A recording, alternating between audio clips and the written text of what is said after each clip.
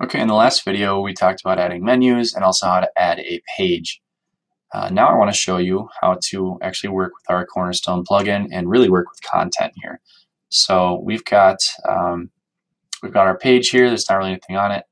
Um, and note that I did select the no container blank no container header footer template, which will allow us to do some cool full width stuff here. So that's all good to go.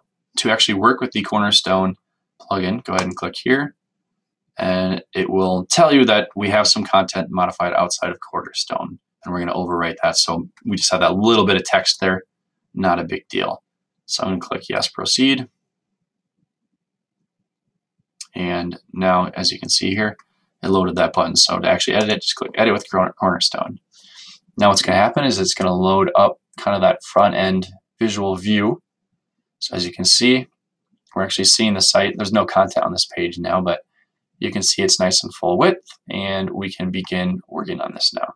So um, to get started, there's, there's something you kind of have to understand that um, Cornerstone organizes things based on um, kind of like three different levels. So you have sections, and so I'm going to add a section here. Click the button that says Add Section, and a section is this this whole it's full width, um, and it is kind of the biggest building block of your site.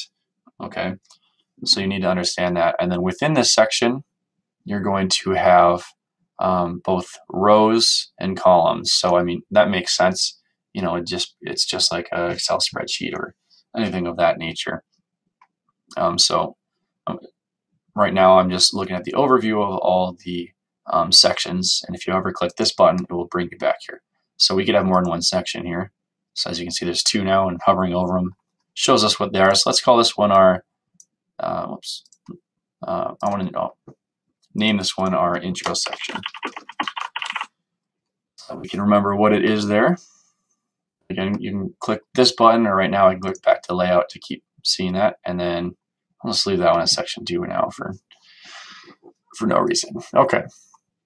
So again, looking at here, we can click on this section and it will give us, it'll show us the um, rows and columns within this section. And within those rows and columns, of course, we're going to add actual content shortly. But for now, um, you'll see we have row one here. We could add another row. And you'll notice these are still both within that same section. They're just the two different rows. And by default, so if I'm selected on this row one within the intro section, you can also uh, do its layout, whether you want how many columns it has basically. So this one, let's make it four columns. And then this next row, um, you know, that one could be two columns. That, so that's pretty easy to work with. And at any point, so like if I click on this column, I always look for this if you want to edit any specific part. So sometimes you don't know what you're clicked on. If I want to select that row here, I can click that, or the section, I can click that. And um, the other thing to keep in mind as well when you're working with sections, columns, and rows, all those, um, each of those has their own settings as well. So if you wanted like a background color, for instance, you can do that. Um, but you have to make sure it, it sometimes is confusing whether you're working with the settings of that particular thing or the layout. So for instance, right now, these are all the settings for the intro section, as you can see that it says we're on. If I wanted to change the background color, I could click this, select a color. Let's make it kind of a dark gray. Okay, and as you can see, the section you know encapsulates all of these, and so the whole thing has that dark background now. Um, whereas if we wanted to do the layout, you know what what rows and what columns there are, you'd have to click that layout button. Um, and so again, we've got these two rows here. So if I click on this row or this row from this layout screen, it will show me that. Um, and so it is kind of confusing sometimes to actually get to this screen. And I don't know if you saw how I did that, but if you click this little magnifying glass, it'll bring you to the screen where you can change the background color or whatever you want to do to this to this uh, row here. Again, background color. Maybe we want these ones to be, this row to be white. Um, and again, we can go back to layout and we can still just see this screen again. If we want to work on one of these columns, you can just click right on it. And as you can see, we're in that edit screen for that. Maybe this one, maybe the column itself is going to be red. And that's how you would do that. Not not too hard. Um, there's also thing. I mean, you can see all the other settings. You can add padding to things, so that's just making it bigger on top or bottom, or you can see all the sides. Um, that's getting a little more in depth here, but um, so I probably won't really be covering that. But anyway, so now hopefully you understand kind of how the layouts work and all that. Now let's do some really basic just content editing and, and additions there. Um, let's say we want to have just kind of a big row here that has a dark background and some light text over it.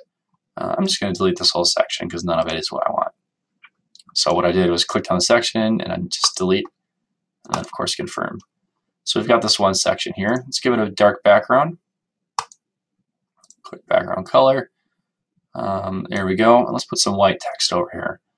To start act actually adding some um, elements within here, so whether it's text or buttons or forms or whatever, you click here and all the main ones are displayed right in this area here. Um, you know, there's a handful that I use mostly. One of them is a custom headlines. Let's go ahead and do that. You just drag it to wherever you want to put it.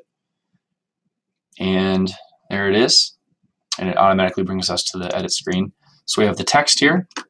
Editing this, very easy. So let's make it say, um, here is a new headline for our website. Okay.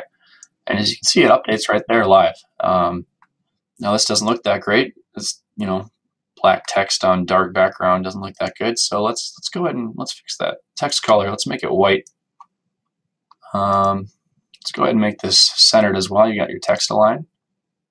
And there it is. Um, maybe even make it, um, you can see you can set a heading level, and this is really just how big it is. I mean, there's more to it than that, but you don't really need to worry about it.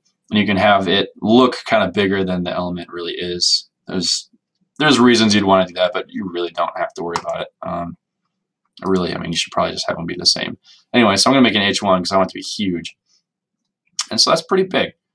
I like that. Um, you know, let's tweak this a little bit. You know, I'd rather it be centered in the middle there. So what I'm going to do is add some padding to this section. So I clicked on the section again. We need to grow it on the bottom a little bit. So let's see, what do we got here? Padding and on the bottom it's currently set to 45 pixels. Let's set it to 65 and see if that makes it even. That just about does it, maybe just a hair more. Let's bring it to 70. And that looks pretty centered there, so that looks pretty good. Um, oh, and at, at, any point you can click um, save, and that will save it for you and give you a weird message. um, and then, you know, if we want to add, I mean, just to show you how easy it is to add stuff, I'm going to go ahead and add another section here. This one I want to have a white background. So I'm going to give it white. Go back to elements. There's a text element in here. It's right there. Or you can even just search. Sometimes that saves time. Bring it in there.